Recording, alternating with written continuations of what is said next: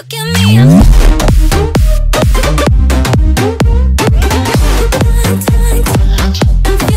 it going guys? And today's video is just gonna be like a quick video. It's just because Recon Expert has actually came back. I know I made a video like a couple days ago about Recon Expert coming back, but it actually has came back and I'll show you guys a picture about right now. Guys, this is actually a video, oh sorry.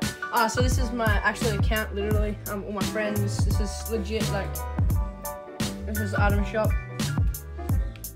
Right there, owned Recon Expert. I'm trying to make this really quick and like all my emotes, my whole setup, like this is my controller, uh, like everything.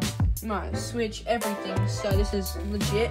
And yeah, so yeah. So guys, I just saw the item shop just changed in Recon Expert. I'm trying to get this out as quick as I can.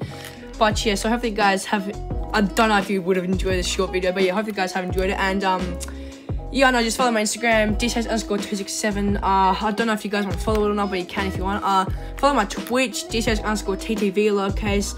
Um, yeah, have a good one. Make sure to subscribe to my other channel, DCH montages as well. Have a good one, and see you fellas. Look at me.